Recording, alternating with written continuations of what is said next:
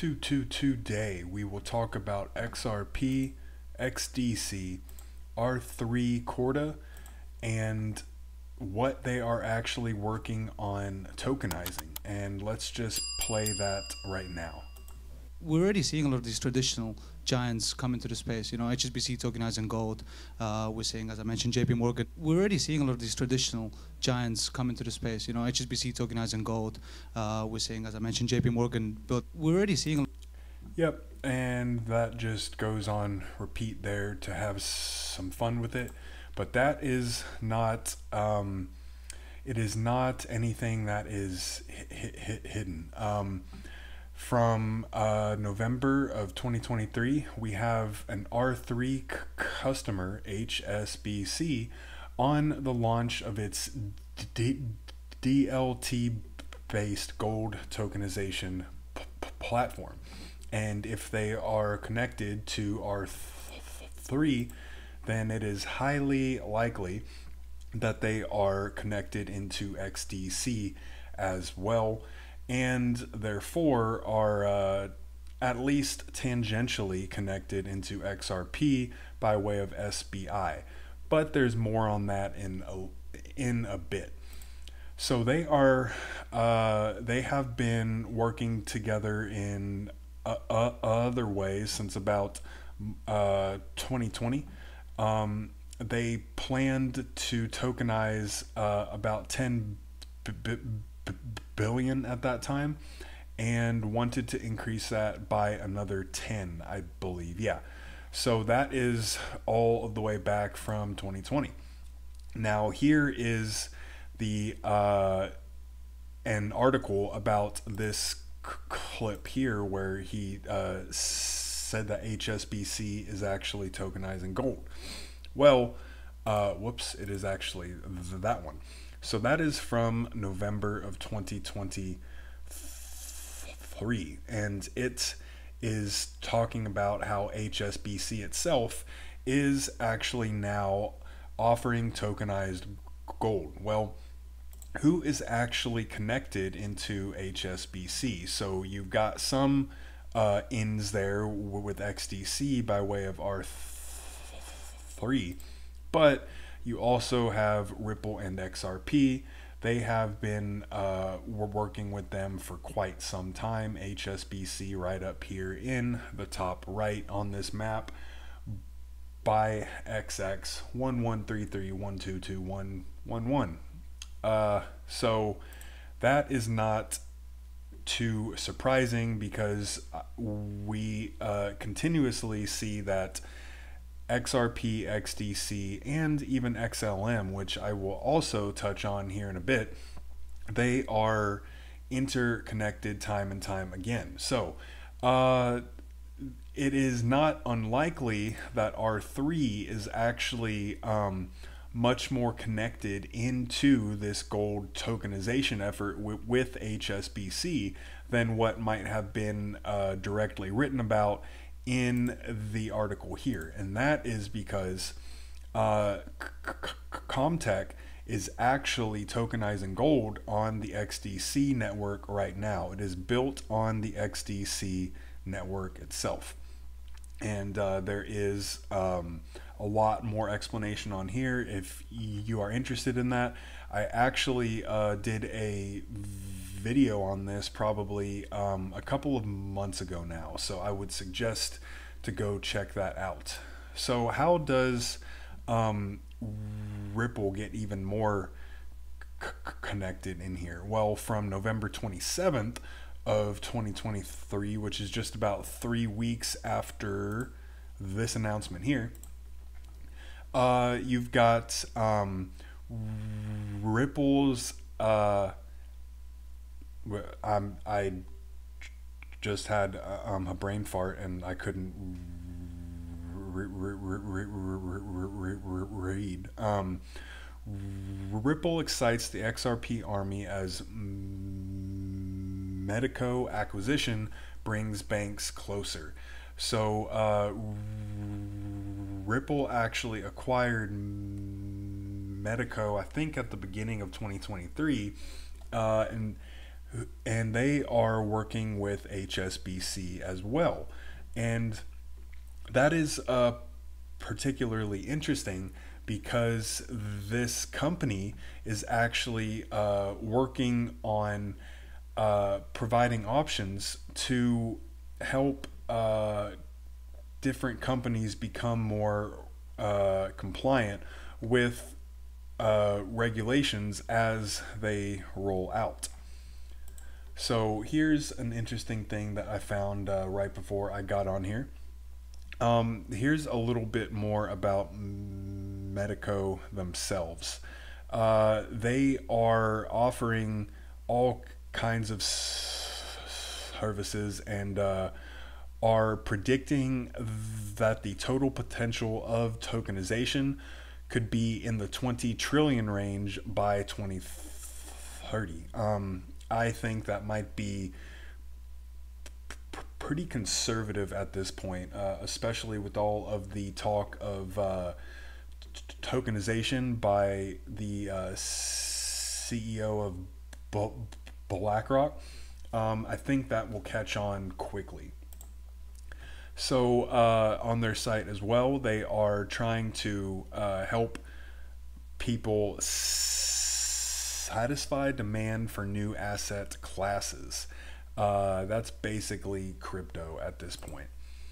So, what are they offering? Well, uh, they are offering crypto and digital assets services for both retail and institutional customers, uh, primarily for c- custody and a c- couple of other options.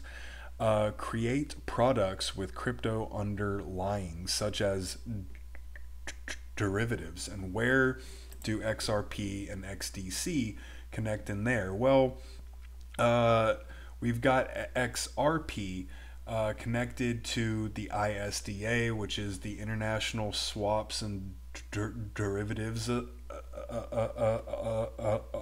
uh, Association. And XDC, I was about to say the DTCC, but that's um, not the best example. I had an idea and then I lost it. And then they are also talking about tokenizing traditional financial assets such as real estate, music, art, luxury collectibles, and jewelry on top of uh, s- securities such as equities and b- b- bonds, which uh, w- which XDC is actually working on that right now. And then uh, there's some uh, t- t- tongue-in-cheek bit here, which is uh, probably a little bit uh, too tinfoil to, to expand on a whole lot, but uh, they are referring to it as the gold. I can't say STs, but we will talk about uh, the, the, the, their harmonized platform a bit more. And uh, while I'm on that, it says uh, supported by IBM Cloud Hyper Protect. And who is connected into IBM? Uh, that is XLM. The IBM IBM World Wire platform actually uh, runs on XLM as far as anyone can actually tell at this point in time. And then you've got the uh, Hyperledger connecting Casper, HBAR, and SHX, as well as a number of other assets and networks. So this is the Metaco site. I won't get too far in to this just because it has a lot of information on here and it's easy to uh, just get caught up in a bunch of uh, uh, uh, jargon that doesn't really help us out. But I found this from Mr. Man XRP and uh, we explore it a little bit more. So, one, HSBC has partnered with Metaco to offer a custody service for digital assets, including tokenized gold, that will uh, use their harmonized platform and is an extension of HSBC's digital platform, which is called Orion. Uh, the custody service for d- d- digital assets, including t- tokenized gold, is planned to be launched in 2024. Uh, this is the paradigm shift that we have b- b- b- been hearing about.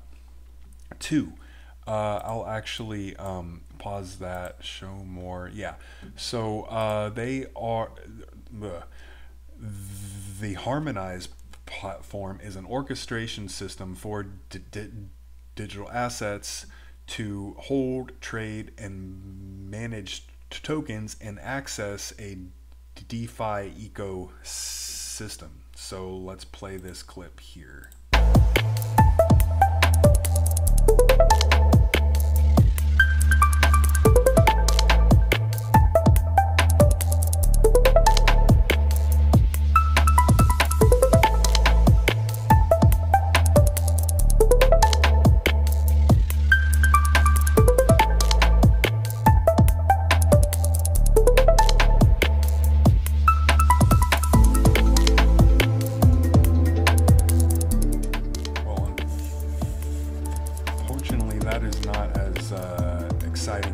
It was, but uh, it still explains it a lot qu- quicker than I could.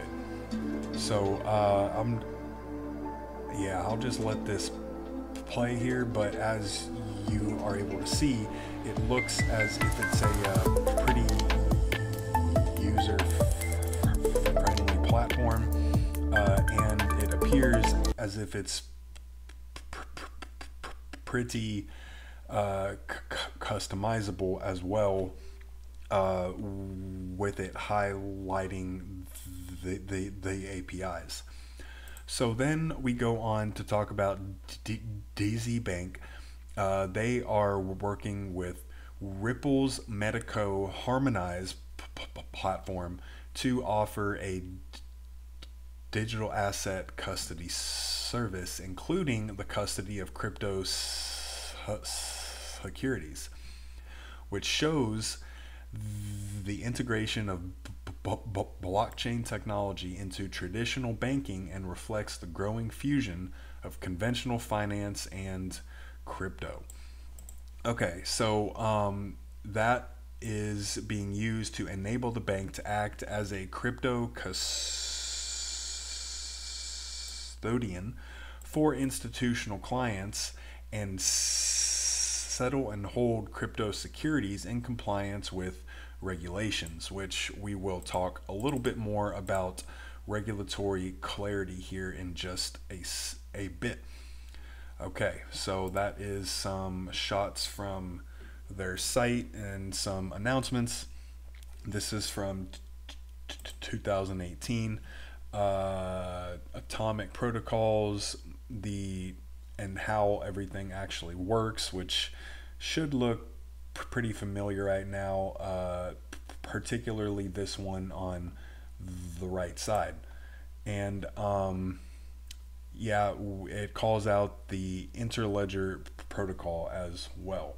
Okay, so we go on to the last one.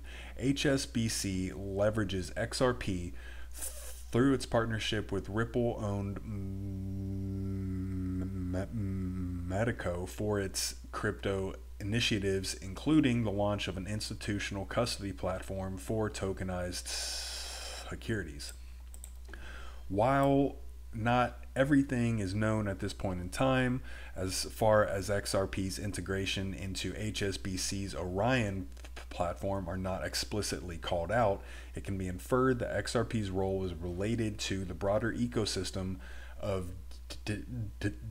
digital assets and blockchain technology. Okay, so uh, here was a little bit more on how uh, this asset t- tokenization can actually work with Ripple owned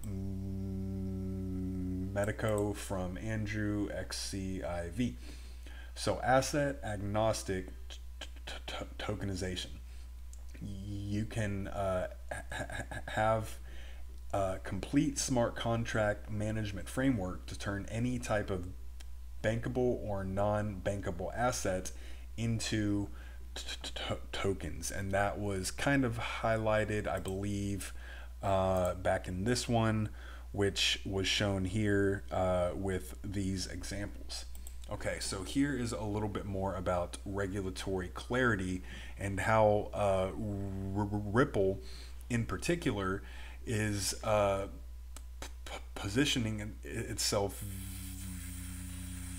very well uh, to be ahead of uh, regulatory uh, compliance when it hits.